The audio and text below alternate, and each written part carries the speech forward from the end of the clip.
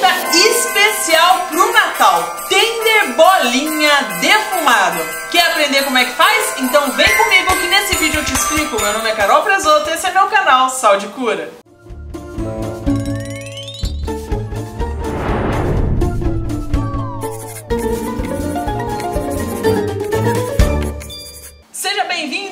Bem-vinda a mais um vídeo desse canal. E nesse vídeo eu separei uma receita mais que especial. A receita que muita gente me mandou mensagem pedindo para mostrar como é que faz esse, essa típica carne defumada do Natal que é o tender bolinha. Sabe quando você vai no supermercado, você vai comprar, nossa, o quilo, eu não sei nem quanto é que tá o quilo ainda, mas assim, é super caro, é uma peça super cara e agora você vai aprender como é que você pode fazer na sua casa usando um corte de pernil traseiro de porco que você vai temperar, deixar descansar lá em salmoura e depois você vai defumar. E vai ficar uma peça espetacular que você pode fazer aí para comer na ceia aí na sua família. E você pode até mesmo de repente vender se você quiser, porque olha, essa receita não é por nada não, fica deliciosa, fica incrível, olha, só de só de imagem, não, já sei como é que vai ficar. Isso aqui fica tão bom que já me dá água na boca só de pensar. Então, bora começar a fazer. Primeira coisa que você vai precisar é um corte, um pedaço do pernil traseiro do porco. Eu, particularmente, gosto muito de trabalhar com o patinho do porco. Então, quando eu vou lá no açougue comprar, eu já peço lá para o açougueiro separar o patinho do porco, porque ele já tem esse formato bolinha. Então, isso me ajuda depois lá na hora da defumação para eu dar esse formato nele. Então, vamos começar. Esse patinho que eu peguei, eu já fiz uma boa limpeza nele. Então, eu já tirei gordura, já tirei toda, todo o nervinho que tinha nele. Olha como que eu deixei ele bem limpinho por fora, até mesmo por dentro eu fiz um trabalho aqui bem legal, tirando tudo que eu não queria, para ficar depois uma peça bem bonita e bem limpa no corte. Bom, então agora eu vou começar preparando minha salmoura, mas antes de eu preparar essa salmoura, ah, qual é? Isso aqui vale minha inscrição. Gente, vale minha inscrição. Se você ainda não é inscrito, inscreve agora no canal para eu continuar essa receita. Eu sempre coloco receitas super especiais aqui. Aproveita, se inscreve e ativa o sininho de notificações para toda vez que tiver um vídeo novo você já receber lá o aviso e poder assistir antes que todo mundo. Então, bora temperar essa peça.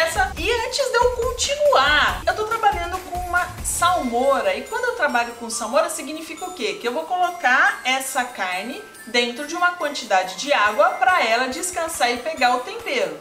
Só que, como eu tô colocando em água, então eu tô diluindo meu tempero.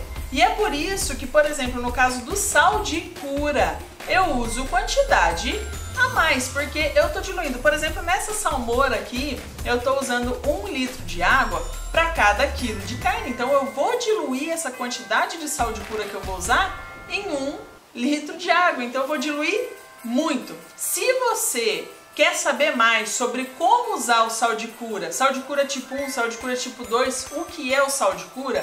Eu vou deixar linkado aqui no card e também no final do vídeo para você assistir e entender por que, que eu coloco todas essas quantidades de sal de cura quando eu estou fazendo salmoura e qual quantidade que eu coloco de sal de cura quando eu estou fazendo uma salga seca. Então, vamos preparar a minha salmoura. Essa minha peça pesa 1,5 kg, então aqui eu já tenho 1,5 litro de água de qualidade e eu vou começar diluindo o meu sal de cura.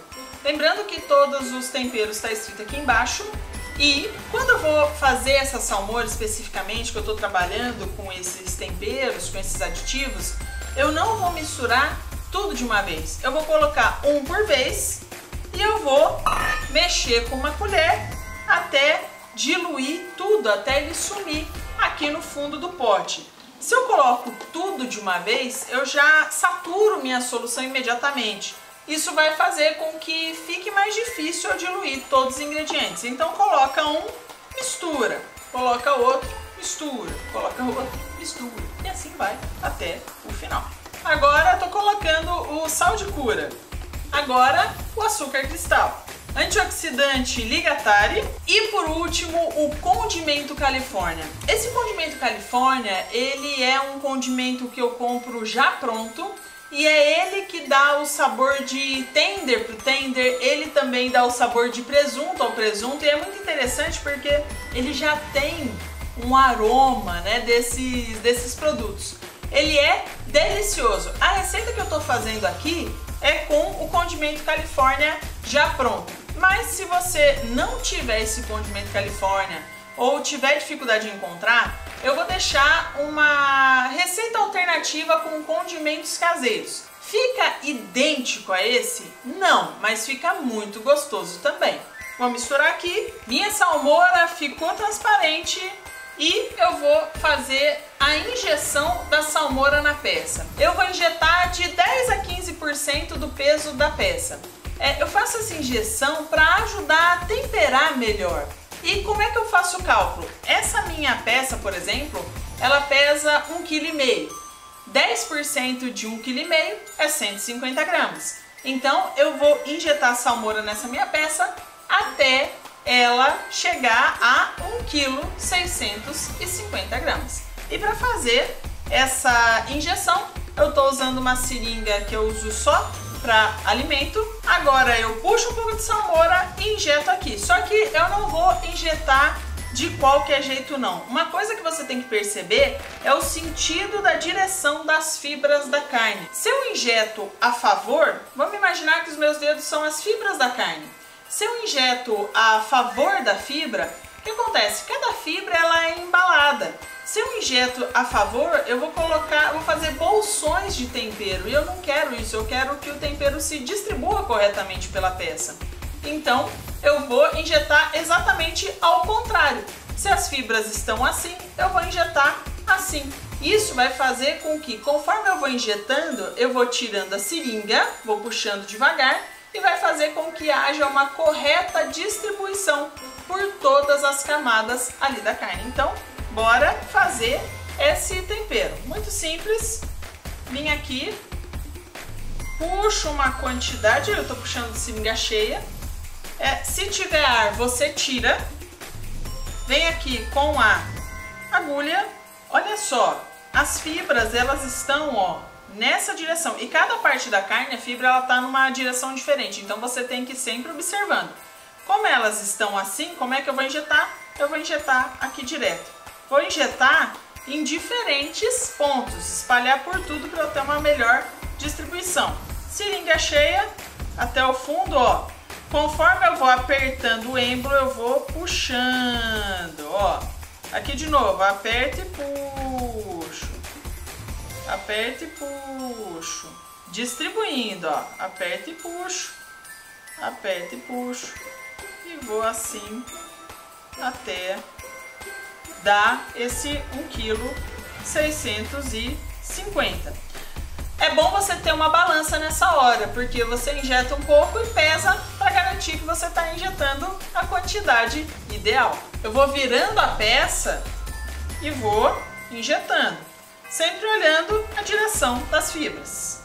Quando eu já injetei um pouco de salmoura na minha peça, o que, que eu faço? Eu pego a peça, coloco aqui na balança e vejo o peso que deu e termino de chegar com a peça aqui em cima da balança. Isso aqui é um jeito muito mais fácil de eu chegar mais rápido no peso que eu quero, sem ficar ultrapassando a quantidade que eu queria.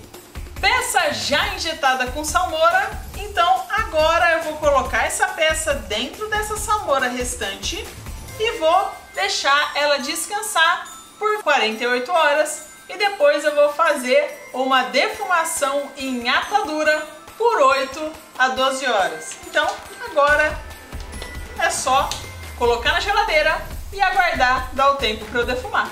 48 horas depois de ficar aqui na salmoura, primeira coisa que eu vou fazer é tirar essa peça da salmoura, passar uma água nela para eu tirar o excesso de aditivo que tem por fora. Se eu não passo essa água por fora, o que vai acontecer é que ela pode acabar ficando meio esbranquiçada por fora e eu não quero essa aparência nesse tender. Então, escolher a salmoura e passar uma água na peça.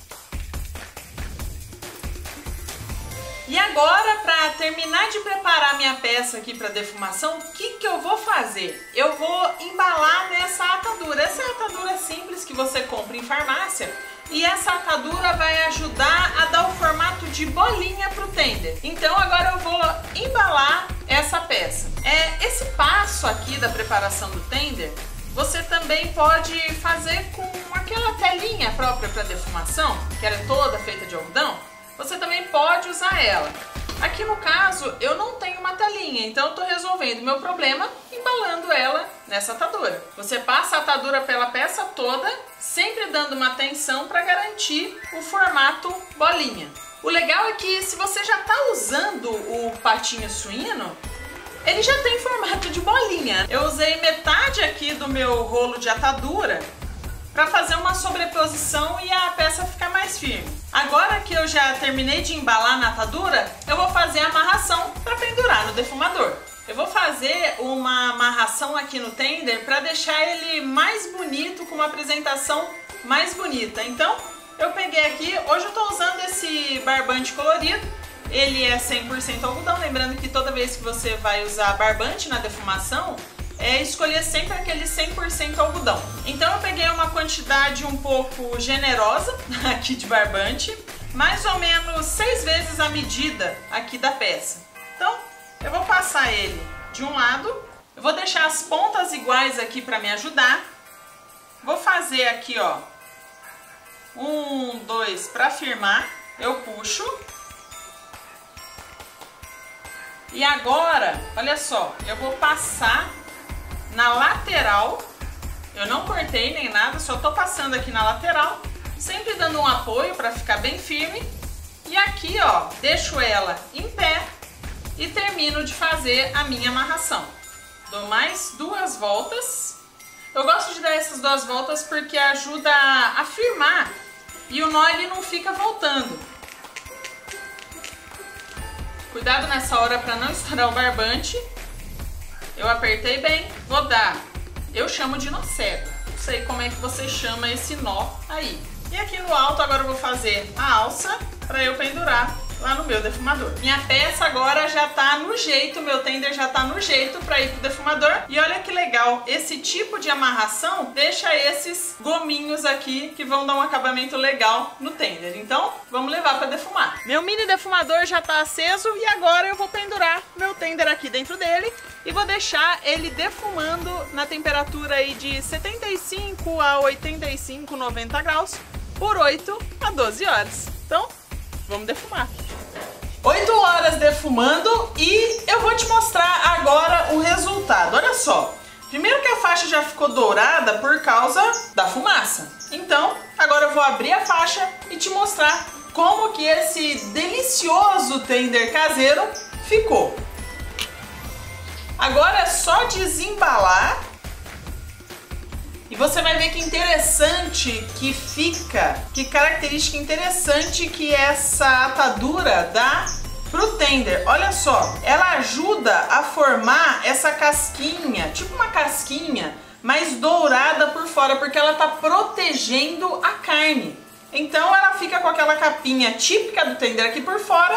E olha que gracinha, olha só. Eu vou cortar então para te mostrar como que ficou o interior dessa peça maravilhosa. Aqui você consegue observar como que ficou o patinho por dentro é, você deve estar se perguntando sobre essa área mais escura, se essa carne aqui está crua. Não, ela não está. Se você observar a peça crua do patinho, você vai observar que o patinho tem umas áreas com a carne mais clara e a parte de baixo, que é a parte que abraça o osso, ela é mais escura. Essa parte de baixo é esse pedaço mais escuro que depois, quando você faz a cura e tal, ele realmente fica mais escuro, mas a carne está toda cozida. Tender já está preparado e agora é só fazer aquela finalização que você quiser fazer no forno para servir para ceia de Natal. Lá em casa, minha mãe deixou o tender inteiro, ela finca alguns cravinhos aqui, coloca no forno por meia hora e depois serve com molho de laranja. Deixa aqui embaixo nos comentários qual tipo de finalização que você gosta de fazer com o tender para eu poder aprender. Eu vou tirar um pedacinho para eu experimentar. Fatia fina. Delicioso. Ó, não tem igual não. O tender, quando ele é defumado assim de maneira artesanal, o sabor dele é muito mais rico, fica muito diferente do que você compra no supermercado. Faz essa receita aí na sua casa, você vai amar. Se você gostou desse vídeo, deixe seu like e a gente se vê no próximo vídeo com uma nova receita. Tchau, tchau! Ficou linda a peça e agora eu vou te cortar. Te cortar. Você vai te cortar? Agora eu vou te cortar. Então peraí, deixa eu parar de cortar aí. Ficou bonito. Ficou bonito, meninão. Para.